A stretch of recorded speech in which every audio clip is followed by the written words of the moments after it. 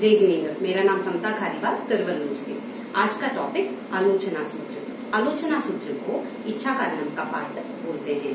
इसे क्यों इच्छा कारणम का पाठ बोलते हैं? यानी इस सूत्र का पहला वर्ड इच्छा कारणम है। इसीलिए इसको इच्छा कारणम का पाठ बोलते हैं। अभी अर्थ। इच्छा कारणम संदिश भगवम यानी इच्छा करता हूँ संदिश, यानी आज्ञा दीजिए भगवन। यानी हे भगवन यानी इरियापति की क्रिया। चलने फिरने में जो क्रिया लगती है, वह परिक्रमामी यानी प्रतिक्रमण करूँ। यह पहला पाठ है। यहाँ पे हम लोग भगवान से आज्ञा मांग रहे हैं। इच्छम इच्छामी, आपकी आज्ञा प्रमाण है। परिक्रम यानी प्रतिक्रमण करने की।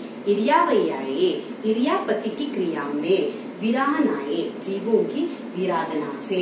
यानी सेकेंड पार्ट में हम भगवान को साक्षी मानकर प्रतिक्रमण करने की आज्ञा मांग रहे हैं। थर्ड थर्ड पार्ट में जीवों की विराधना से, जीवों की यानी कौन से कौन से? जीव। यानी गमना गमने आने जाने से पाणकम ने बीयकम ने हरियकम ने यानी किसी प्राणी को दबाया हो, बीज को दबाया हो, हरी वनस्पति को दबाया हो। ओस, यानी फॉग उत्तिन यानी कीड़ी नगर, यानी कीड़ी का घर, पनग, यानी लिलन फुलन, दग, यानी कच्चा पानी, मट्टी, यानी सचित मिट्टी मकड़ा संताना संक्रमण यानी स्पाइडर्स वेब जाले को कुचला हो, जे में जीव विराइया, यानी जो मैंने जीव विराधना की है। एगेंद्रिय बेन्द्रिय तेन्द्रिय चौरेन्द्रिय पंचेंद्रिय। यानी एक एक इंद्रिय वाले जीव, दो इंद्रिय वाले जीव, तीन इंद्रिय वाले जीव, चार इंद्रिय वाले जीव, पाँच इंद्रिय वाले जीव।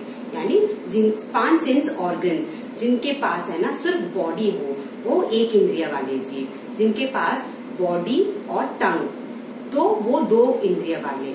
जिनके पास बॉडी टंग और नोज़ तीन सेंस ऑर्गन्स होते हैं तो वो तेन्द्रिय जिन जीवों के पास बॉडी टंग नोज़ और आईज हो तो वो चौरेन्द्रिय जिन जीवों के पास बॉडी टंग नोज़ आईज और ईयर्स ये पाँचों सेंस ऑर्गन्स होते हैं ना तो वो पाँच इंद्रिय वाले जीव। जीवों की विराधना। जीव तो अभी सारे जीव आ गए।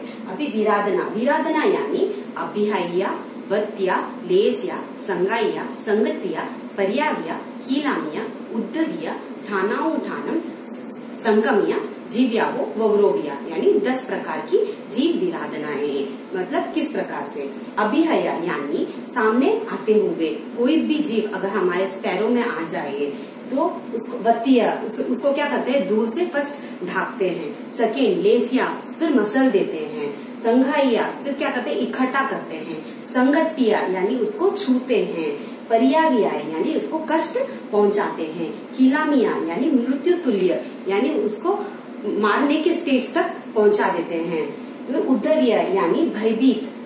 भयभीत क्या हो या डराया हो? थाना हो ठानम संकामिया यानी एक जगह से लेके दूसरी जगह, एक स्थान से लेके दूसरे स्थान में ले जाके रखना।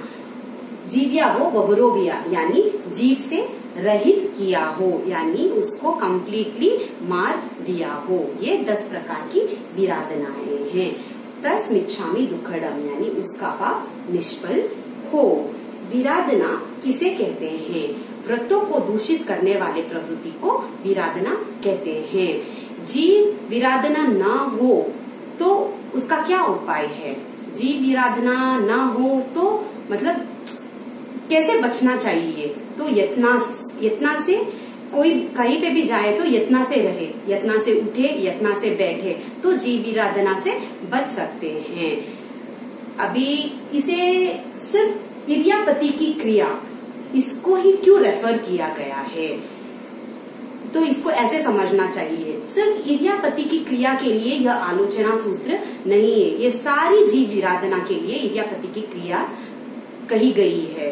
जैसे अब किसी को कहते हैं, रोटी खाई तो इसमें सब आ जाता है। रोटी के साथ सब्ज़ी, दाल, चावल, रोटी और अन्य चीज़ें, मिठाई वगैरह सब आ जाती है। सब एक साथ में आ जाती है। उसी प्रकार सिर्फ़ इरियापति की बोलने से, सिर्फ़ चलने फिरने से नहीं सभी जगह पे जो भी जीव विराधना होती है ना, उस सबको रेफर करना चाहिए। उन सबको ऐड करना चाहिए। जो भी जीव विराधना हुई है ना, उसके लिए ना ये आलोचना सूत्र बोलना चाहिए जय जिनेन्द्र